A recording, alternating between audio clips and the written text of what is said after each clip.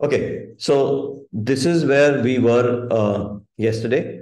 So I hope that for all of you, uh, the basics are working. Uh, you are able to make uh, this Scratch three and microbit more extension work. I'm working, uh, I'm, I'm assuming it is working and that's, you know, we are going to continue with that. If you have a problem, then during the break, you can ask me or ask uh, some other, your colleagues. Okay. Uh, so I'm saying, just to repeat, this is what we were doing yesterday. So, you know, whenever I will touch A and B, my, my sprite will move. So, um,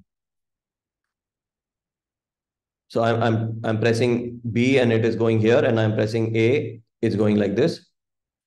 So what, what, what we are looking at here is how to control scratch with microbit. so let's add one more sensor. So right now I'm going to add a sensor, which is an onboard sensor. So I'm not connect connecting any external sensor to microbit. I am going to use the light sensor, which is on the board itself. Uh, so if you go to microbit more, you will see that it has some, um, you know, uh, variables like uh, there are kind of variables in the sense that they are already pre-built. So for example, I already have something for light intensity.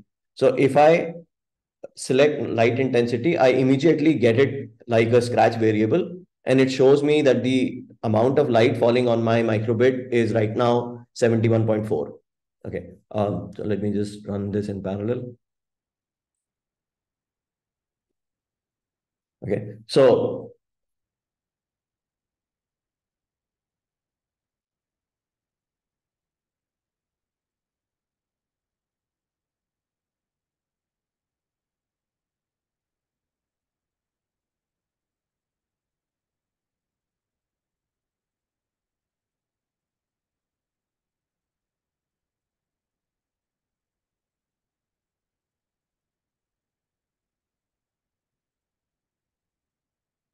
Okay. So now you can see the light intensity here. It's become zero and then 70. So as I bring it closer, so I'm saying that there are some things which are already built in. So we don't even have to do anything. They, they have already given us light intensity. They've given us temperature. So temperature right now is saying room temperature is 34 degrees Celsius. Okay. Um, so angle with north, this will not work right now because you have to calibrate the compass. Okay. But you will get pitch. So pitch and roll are the way you turn the microbit. Okay. Um, so you will get pitch, roll. You will also get sound level. So let me switch off these. So sound level. Okay. Um, magnetic force again will not work right now because you have to calibrate the compass. So this is a very interesting uh, thing about microbit. Uh, this is another uh, sensor in the microbit, uh, which is the compass, and you have to calibrate it so that uh, it gets calibrated with the you know Earth's magnetic field. And once you have calibrated that, then if you bring a, a, a magnet, uh, I have a magnet inside inside this one. If you'll bring a magnet, it will detect the magnetic field. Okay, but I mean, you have to calibrate it first. So I'm not doing this right now, but it is a very interesting sensor because uh, you can do many projects based on, you know, Earth's magnetic field and the compass and this uh, magnetic force. Okay, so right now we are just going to use the light intensity. So what we are going to do is let's write a program.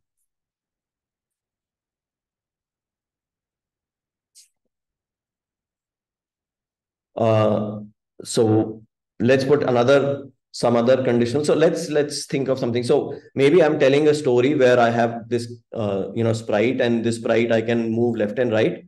Now I want some backdrop, and this is really your imagination. We are trying to make a interactive story. So I'm saying let's let's say the default is uh, this one. So what I'm planning is that when we will shine some light on the microbit, the backdrop will change. So we are making some sort of an interactive story which which can have or a game which can have two modes. So dark mode and light mode.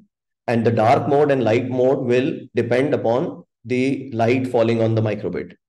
So to program this, I'm going to go into backdrops and I'm going to say um, um, the same thing, control I'm going to get a conditional statement. And then I'm going to go microbit. So we are looking at light intensity. So I'm getting light intensity. Think of it like a variable. And then from my control uh, events, I'm saying when green flag clicked. And from operators, I'm saying, so this is what is happening right now. The light intensity falling uh, on the microbit right now is around 70. And when I'm putting my hand on it, it drops to almost zero. So I'm going to get one less than operator here. And I'm going to say if light intensity, let's say is less than 50, then I want to change the backdrop. So I go here and I say switch the backdrop and I can add a new backdrop and I want some night backdrop. So let's say this one. So I'm saying if it is this, then make it uh, night city. Okay, so now I'm saying this is your regular scratch knowledge. So we are making this conditional statement where we are saying the backdrop is dependent upon the light intensity. So to make this, then I'm, I'm going, I'm actually going to get a if then else statement. And I'm saying if light intensity is less than 50, switch backdrop to night city, else switch it to blue sky. Okay. So now, um,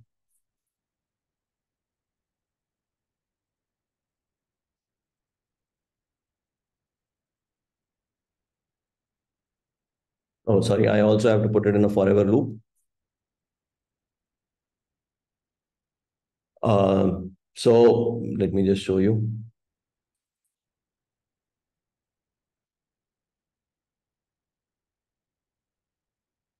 So basically when I, I, want to run it in parallel, but just believe me right now that if I have my hand on, on the microbit, the light intensity is zero. So I have this, and when I remove my hand, the light in intensity goes up. And so I get this. I just want to show you in parallel. Uh,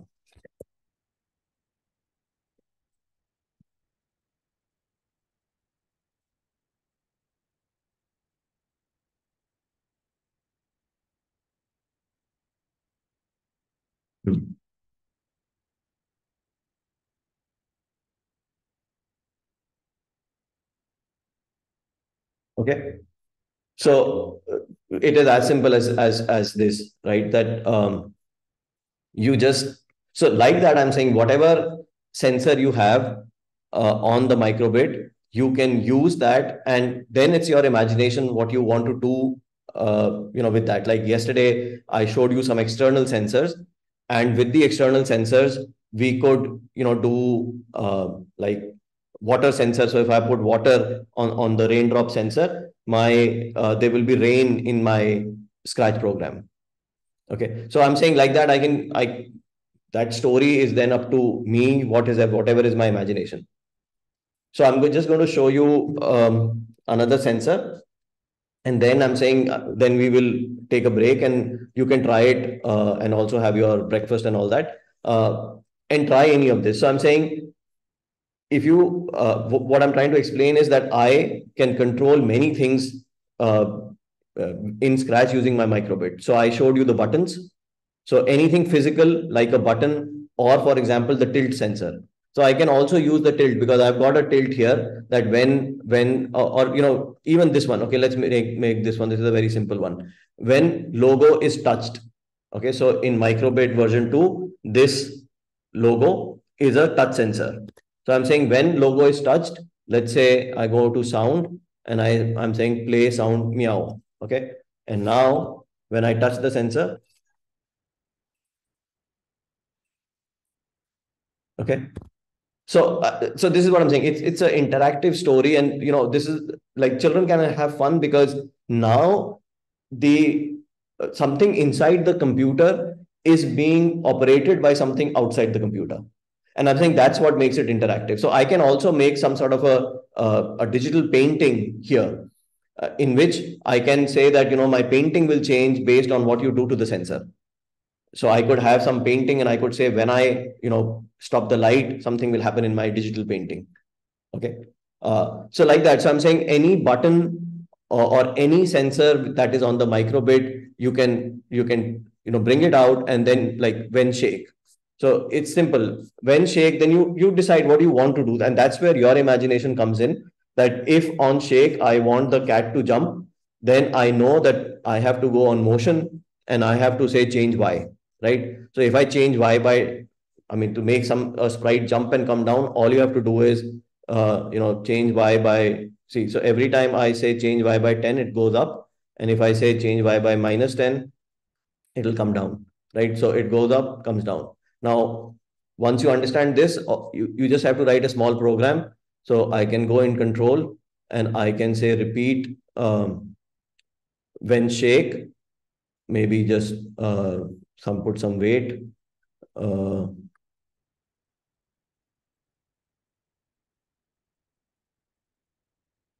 Sorry, I should have. So change y by, by minus 10, then change y by 10, and I can maybe put it in a you know loop maybe one time or something. So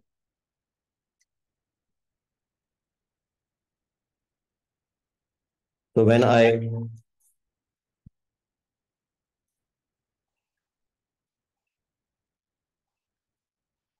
So I'm also touching the sensor by mistake. So I'm saying I'm doing this shake, and this shake is what is determining uh, my uh, my cat jumping. I mean, I've made it very. This should be very little. Like the weight should be just 0.1 or something. Um, so you can play around with it. So my point is that whatever is there on the microbit, you can use your imagination to say when button A is pressed or when logo is touched. And it's not just logo. It's you will get all the pins. So I can also, I can put something on logo touch, but then I can also say when, when pin zero is touched, do something else. Uh, and like that, I'm saying shake, shake has so many things, tilt up, tilt left, tilt down. So I can use any of these. And so these are pre-made blocks or if you have something else like acceleration here, uh, then I'm saying you'll have to write a conditional statement like this. So I'm saying instead of this, I can put something here uh, I will have to put a some equality operator here. And I can then say if acceleration is less than greater than do something. Uh, so I hope you understand what I'm saying that any of this, any of these things here, you can play around and based on what's happening on the microbit, things in Scratch will change. Okay. So I'm just going to take a pause for a minute. If you have any questions, please ask.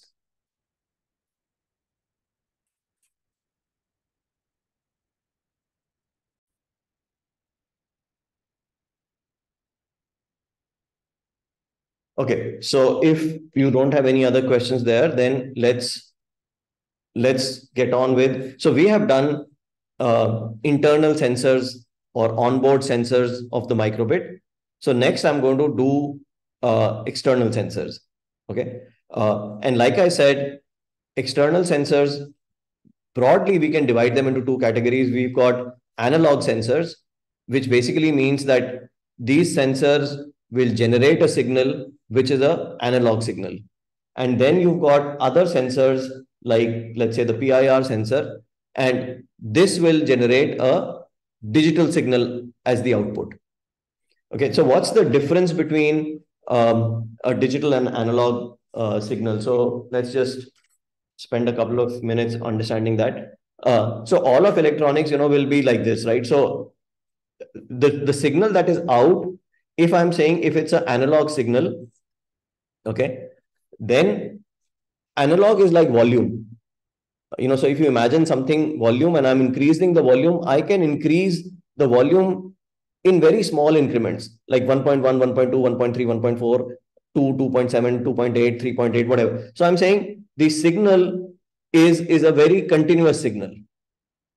Okay. So if it's a continuous signal, the voltage change is continuous. And this is what I was explaining yesterday, that everything will be about voltage or current or resistance or conductivity or any of, of, of those basic, you know, fundamental features of electronics. Okay. So I'm saying this is a discrete signal. So it can go up, it can go down, it will cycle like this. So imagine a volume switch and I'm making the volume go higher or lower. It will work like this. Whereas a digital signal, the difference is that the digital signal will is a, is a very discrete signal Okay. So digital signal is either on or off. So it will either be on or it will be off or it will be on or it will be off, on, off.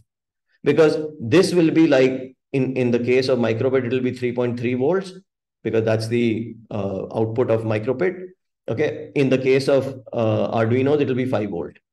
So I'm saying now you have to think about the sensor. So what I'm saying is that if I have any kind of a analog sensor, like let's say the soil sensor, then the signal that I'm going to get out from this will be like a continuous signal.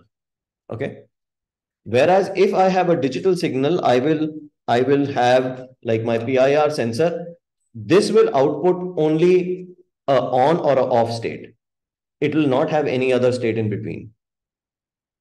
Okay. So here what is happening is if you think about it, like in the circuit, the voltage may be changing from like, let's say one volt to 1.1 to 1.2 to 1.3 to 1.4, whatever. Whereas here it will, the, the voltage out coming out from this will either be on or it will be off. It will either be 3.3 or 5 volts or it will be 0 volt. Okay. So now this is a very, uh, uh, you know, a fundamental difference between how we will have to deal with these sensors when we are going to attach it to our microbit or to Arduino. Okay, so this is like the basic thing to understand that this, some of the analog devices will give me a signal like this, and the digital devices will give me a signal which is a very discrete signal. Okay, so with that, let's let's look at the sensor. So the good thing is that even though uh, this is an analog analog sensor. What they have done now is that you get this other, you know, uh, component with with this. So these are just prods actually. This is not a sensor really. Prod prod means it's just like you know something that we are uh, putting to feel whether there is moisture or not. Then whatever it is doing, we will connect this to our uh, you know this device which comes with the sensor Okay. And with this, once we have attached this device, it has some comparators or whatever, some uh, you know components built in, such that now even an analog sensor can give us both a digital out, which means a signal which is either on or off, or an analog signal, which will mean it will detect all the changes in the voltage. Okay, so it will give me a, a very continuous signal. So by using uh, you know this kind of a device with with my analog sensor i have the option and you will see it may not be very clear here but when you will you will see that in the corner it says vcc which means you have to you know connect the voltage pin here. It says gnd which means the second one is you have to you have to put a ground pin here. Then the third one is called do so do means digital out so if I use this pin, I know that I want this sensor to give me a digital signal, which means either it will be on or it will be off. And the last pin is called uh, uh, AO, which means analog out. So analog out means that the signal that this sensor will give me will be a continuous signal. So the change in voltage will be like, like I said, 1.1, 1.2, 1.3, like that. Okay. And this is for for you know um, all kinds of sensors mostly you will get it. For some sensors you don't get this. I'm we will deal with them later. But i'm saying for most sensors like the um, like the raindrop sensor that i was showing you yesterday same principle okay? That with the raindrop sensor also we will take this out. We will put this here. And now from my raindrop sensor i will get both digital signal and analog signal. And it's for me to decide which one I want. So I'm going to show you both. So uh, before we take a break in the next 10 minutes, I will just show you the soil sensor. And then, uh, but what I'm trying to say is that it doesn't matter. I'm taking the soil sensor as an example. You can use raindrop sensor or any other analog sensor for which this converter is there for uh, with us. Then there are some sensors where you don't have the converter and then you have to create a voltage divider. But we will not look at that right now. We will just look, keep it simple. And once I have this, then it becomes very simple for me to operate this device. Okay. Uh, so all I have to do is attach some pin uh, wires here and connect it to my microbit.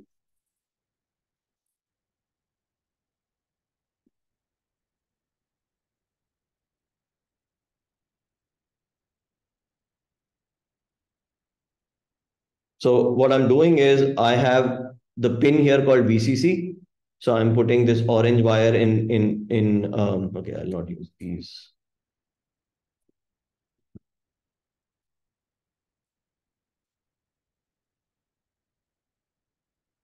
So I'm I'm using wires which uh, you know on this side have a female and on this side have a alligator clip. It just makes life simpler to uh, you know attach it to the microbit. And I'm saying this because like I have made many of these. Like I have I have you know soldered. I, I have taken two different types of wires. Okay, so I've taken like the male pin here and the alligator wire, and I have soldered it. Okay. I'm saying I've done this because it just saves time. Otherwise, you will keep struggling connecting different types of components. So if when you have time or, you know, like get your class 11 students to do this for you. Okay. Um, so what I'm going to do is I'm going to connect a VCC pin. So VCC pin, I'm connecting VCC to 3 volt. Then I have my GND pin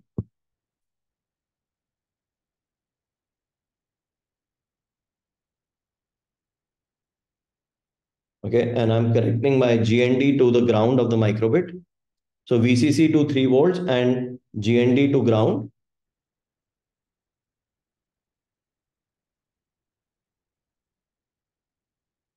And then I have a third pin. So right now I'm going to use the AO out, which means I am using the analog out. Okay. And AO I am putting, let's say, on pin zero. Okay. So I'm just repeating it. All I have done is I have taken the soil sensor. I have taken, attached it to this uh, component. And then I have connected the VCC to the 3, 3 volt, GND to the ground, and signal AO, analog out to pin 0 of the microbit. Okay. So this is my hardware setting. And I'm saying instead of this sensor, you can use any other sensor which has a similar out and you can, it'll be the same configuration. Okay. And after this, now let's go to scratch.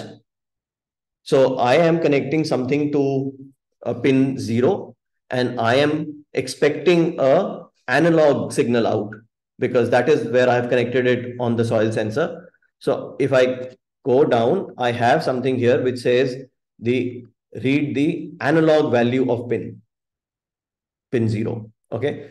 If I had set it to digital pin, then I would have to use this one, which says is pin zero high or low? Because if, if my sensor is outputting a digital signal, it can only be high or low. It can only be on or off. So that's when I, I can use this, this programming block.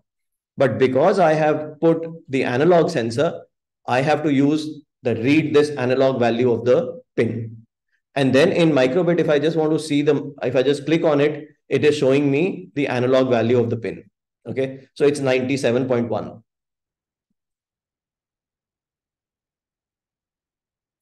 Okay, so now see that uh, the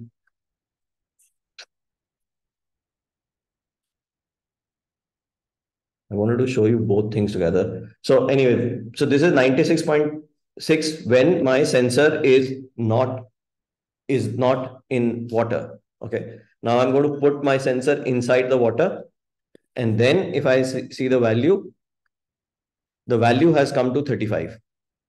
So I, I'm saying doesn't matter which analog sensor you are using, the logic will be the same, that you will need these two basic readings. So once when I have the sensor in water, my reading is uh, approximately around 35, let's say less than 35. Okay. And now when I'm taking this out, and I should just dry it up a little. Then if I see the value, the value is almost 98, 99. Okay. So I'm saying now, once you've got these two values, uh, we can write some program. Okay, again, we can, it, it's the, that kind of logic is the same. So I'm going to go and I'm going to say when green flag clicked, control, I'm going to get uh, if then else, and I'm going to get an operator. And uh, so I know that if the value of the pin is, let's say, less than 40, which means when was I getting a value less than 40? When my uh, uh, soil sensor was inside the water. So that means when it's inside the water, uh, let's say this is the plant. So if it's inside the water, I'm happy. Nothing, nothing is to be done. Okay. So maybe I can just go on microbit and I can, you know, show some something. I'm making it simple right now. Show a heart. So if the plant is nicely watered, show a heart. And if the plant is not nicely watered, then, you know, let's say something else. So we can change the pattern. I'm just putting a, a cross. Okay. And then I have to put this in a forever loop. Okay, so I've written a very simple program. If, you know, forever, check the value of the analog, uh, check the value of analog value of the pin zero, which means the pin which is connected to my soil sensor continuously forever keep checking the value. If the value is less than uh, 40, then show me a heart. If not, then show me a cross. Okay, so we can test this now.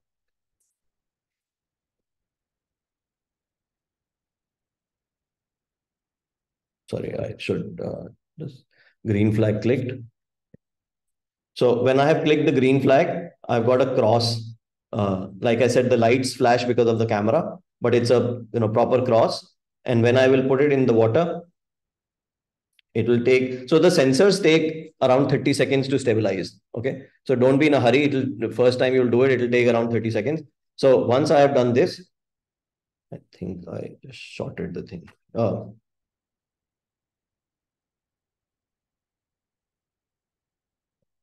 So what you were saying happened right now. I it, it got disconnected. So I have to reconnect. Pair. And then let me just start it again.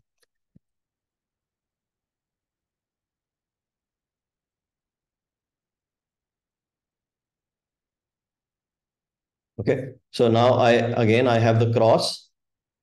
And then if I put this inside, it just give it some time. And sometimes it's also possible that if it's not changing, uh, so in first time the sensor takes around 30 seconds to stabilize. Okay. So once it's in water, I've got a heart there. And when I'll take it out, it becomes a cross. And when I put it in, it will become a heart. Okay.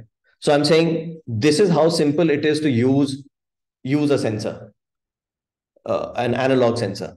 And then it, it is your imagination. So what, what we are going to do is we are going to take a break now. But what, what I want you to do is whatever sensor you have, whichever sensor you are carrying with, with you, maybe it's a, a MQ2 sensor or you know if you can go and get the same soil sensor or or you know uh, this raindrop sensor these are simpler sensors to use try to do this okay so uh, what you can do is you can use some onboard sensors to control your your scratch or you can use some external sensors. And i am only showing a pattern but rest is your imagination. I can make like if i go here in microbit more there is there is a buzzer here. Okay? So i can say that when there is no water play some tone. So then you will have some sort of alarm which will be a soil sensor. And when you come back i'm going to complete this project because i'm saying that we will we will have some alarms and all these things. Plus we will also have a servo attached to this.